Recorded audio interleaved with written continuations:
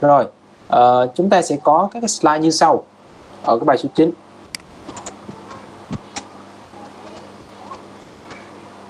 đây đừng quan tâm cái này ha. Chúng ta có cái slide sau slide đầu tiên này. Được chưa? Slide thứ hai này slide thứ ba này slide thứ tư này. Đó thứ ba thứ tư hai ba tư thì chỉ có các cái nút gì? Các cái button này thôi thì mình làm dễ đúng không? Đây. rồi riêng cái slide đầu tiên là cái slide mà các bạn chưa được nắm cái kiến thức này. Cho nên mình sẽ hướng dẫn cái slide đầu tiên là nhiều nhất. Cái slide còn lại mình sẽ chỉ nhanh thôi ha. Tại vì một cái nó sẽ là tính năng các cái slide còn lại nó y chang nhau luôn. Và thì bây giờ quay ra sang slide đầu tiên. Đây. Tạo animation và trigger để khi click vào nút tại đây, tức là khi click vào nút đây này.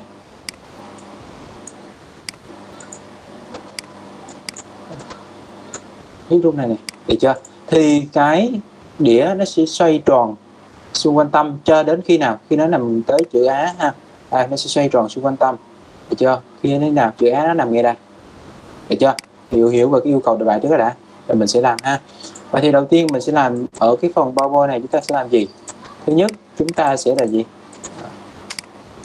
Chèn cái cái hình đĩa tròn vào trước. Ở cái hình đĩa tròn chúng ta có thông tin gì đây? À chúng ta có insert chèn hình đĩa tròn trong cái thư mục data của mình đó nó đã có sẵn rồi nha. Các bạn đừng có uh, đi tìm chưa cực này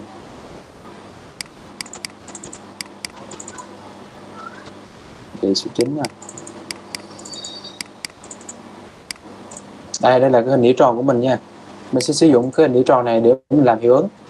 Để thế nào?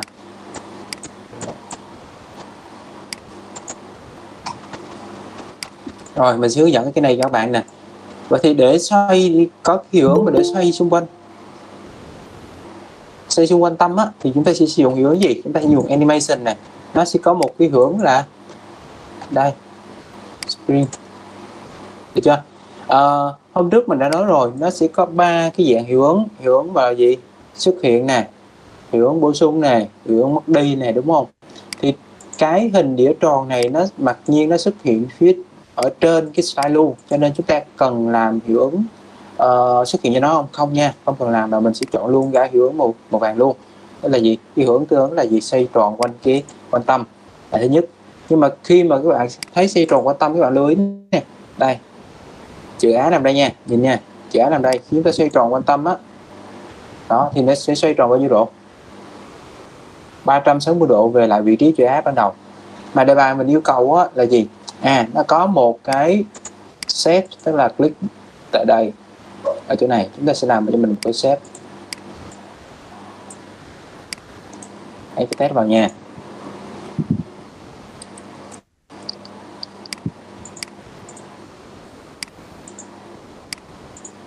Được chưa? Đây. Click tại đây.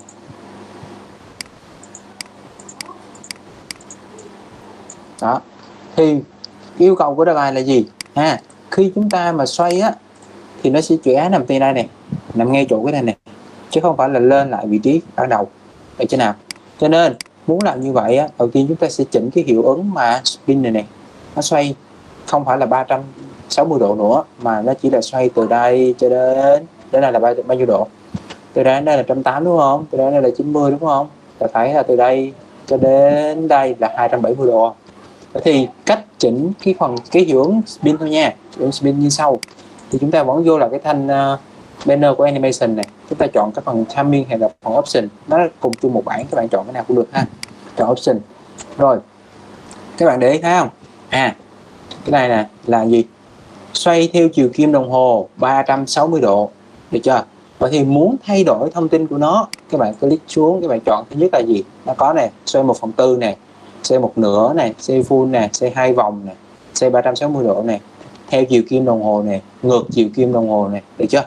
Có thể ở đây mình muốn custom tức là mình chỉ còn là từ đây đến đây là chỉ có 270 độ thôi thì chúng ta sẽ nhập vào luôn là 270 được chưa nào? Rồi nhấn enter nha. Đó thì chúng này nó xoay là gì? 270 độ theo chiều kim đồng hồ. Nhớ nha. Thì ở đây bây giờ nó chạy từ đây đây nhìn giá nha. Ở đây nó dừng thấy chưa? Đó rồi một cái mẹo nhỏ là để hai cái hình này nó ngang nhau thì các bạn tại vì nó phải thẳng tâm với nhau đúng không? Thì các bạn chọn hai đối tượng tức là hình tròn và hình mũi tên. Chúng ta chọn mát chúng ta chọn align và chúng ta chọn là gì? Uh, middle. Để nó thẳng tâm với nhau này thấy chưa? Cho anh chị ra đúng thôi chứ cũng không có gì hết ha. Cái này là cái một mẹo nhỏ thôi. Và thì cái hiệu ứng này xuất hiện khi nào? Hiệu ứng xuất hiện khi nào? À nó xuất hiện cái hiệu ứng cái điểm tròn xoay quanh tâm khi chúng ta click chuột vào nút tại đây. Đúng chưa? Đúng không? Vậy thì chúng ta sẽ cái trigger cho cái nút tại đây. Và thì chúng ta sẽ lấy cái hiệu ứng đầu tiên. Sau đó chúng ta chọn là gì? Trigger, click chuột vào gì? Cái nút là gì? À cái nút mũi tên bên phải số 4 này, là cái này này Nãy mình chưa đổi tên đó cho nên như vậy. Được chưa? Vậy thì nó sẽ xuất hiện một trigger mới này click tại đây thì nó sẽ xảy ra cái hiệu ứng là gì? Xoay quanh địa tròn. Chúng ta xem thử nhé đây ha đây thấy chưa? Bấm này xoay này được chưa nào? Đó là cái cái, cái phần của mình nha. Dễ không? Đó là cái phần mà hôm trước mình mình chưa được học.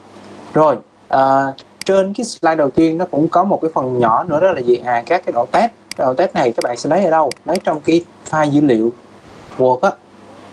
File dữ liệu Word mình có sẵn ha. Đây ví dụ như là tiêu đề này tiêu đề chúng ta có tiêu đề ngoài.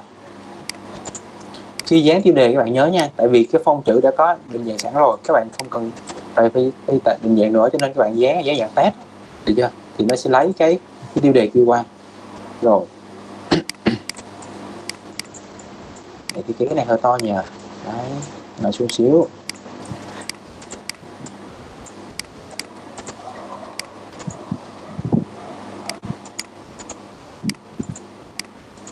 Chưa? Đó đó là phần thứ nhất. Cái thứ hai là nó có cái gì? À các cái chữ cái cái bên này. Cái chữ cái bên này thì mình lấy ở đâu? Mình cũng thấy từ phía bên cái file này qua. Nhưng mà nó là gì? À nó là cái bằng smart hạt mình chỉ copy qua này. Copy qua. Được chưa? Các bạn chọn smart hạt ở đây chưa có gì thì chúng ta insert smart hạt cũng được. Được chưa? Ví dụ chúng ta insert này. Insert smart hạt được chưa? À, nếu chưa xác định được cái mẫu thì chúng ta lấy một cái mẫu bất kỳ tí nữa chúng ta sẽ chỉnh sửa sau bữa trước đó rồi. Cái phần smart ad đó là các bạn phải quen bạn nhìn bạn nhận diện được còn nếu không nhận diện được cứ chọn cái mẫu ban đầu là mẫu nào đó rồi sau đó mình sửa sau cũng được. Không sao hết ha mình nhập điệu xong mình sửa. Thì nhập điệu chúng ta nhớ nhập điệu bên này cho nó dễ ha. Đây thấy chưa? Đó như vậy. Thấy chưa? Vậy thì kéo nhỏ lại chút xíu nè. Đó thổi chưa? Kéo là khi mà bạn còn được chưa? Vậy thì chúng ta đã có bạn chữ cái phía bên bên phải. Đây. Chúng ta chỉ cần gì chứ thay đổi color. Tại vì nó thay đổi dạng định dạng là gì? 3D chút xíu, rồi nó độ bóng. Được chưa? Chúng ta làm như sau. Thay đổi color nè. Được chưa? Thay đổi định dạng 3D xíu cho nó có độ bóng nè. Thấy chưa? Được chưa? Con này dễ không? À, nếu mà chữ đi yêu cầu là màu đen thì mình sẽ sửa màu đen luôn. Chưa? Nó chỉ có mỗi slide đầu tiên thôi nha. Cái slide còn lại rất là dễ. À, tiếp theo chúng ta sẽ trước khi làm các phần tiếp theo đó, chúng ta làm uh, tạo hyperlink đó, thì chúng ta cứ thiết kế tiếp các cái uh, slide tiếp theo. Uh, slide tiếp theo như sau. Đây nội dung này. Mỗi cái nút là gì? Quay lại thôi. Được chưa? Vậy nội dung. Chúng ta lấy từ bên này qua. Tức là tiêu đề này. Chưa?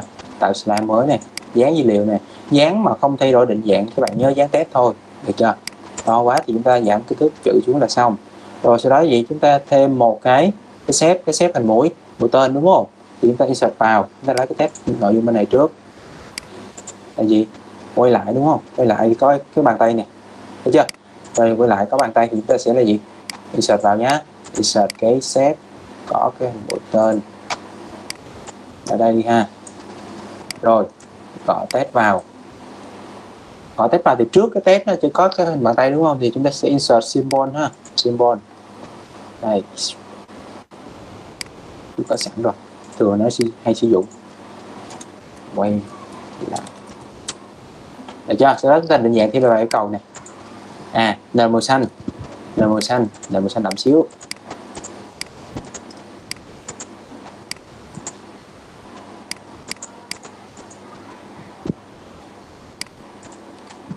chữ chữ màu ờ, màu vàng nhạt nha, màu vàng nhạt, đậm lên.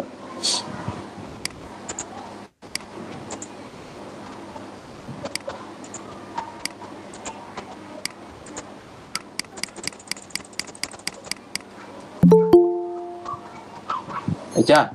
Đây là cái phần test mình, nhưng không có di động di động như xấu đấy. Thứ nhất, thấy chưa? Thứ hai, cái này, cái nút này tí nữa mình làm sao? Cái để không?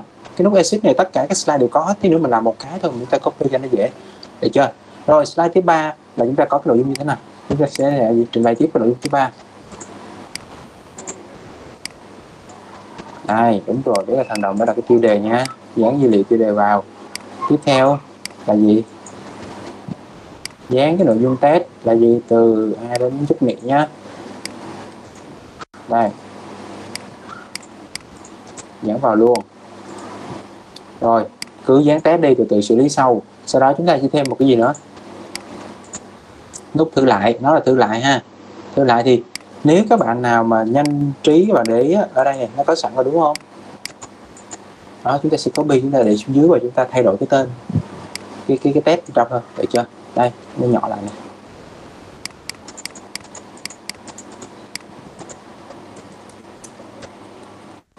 nó, nó giống gì không? Nó, khác gì không? Đấy y chang luôn.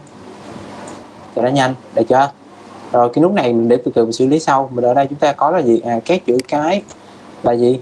Á thì chữ màu đỏ in động hay là tất cả các chữ mình là màu xanh hết. Thì cái này các bạn có thể chỉnh sửa bàn tay luôn cũng được cho nó nhanh khỏi còn sử dụng cái uh, mấy cái thủ tục phía sau này mình chỉ nó lâu. Được chưa? Các bạn chỉnh sửa bàn tay luôn. Ví dụ như đây. Rồi các cái chữ á này á chúng ta sẽ thay bằng chữ màu đỏ. Được chưa? Uh, nếu mà các bạn rành đó thì các bạn sử dụng tính năng replay á nó nhanh nhất replay bằng cái công cụ uh, đây này.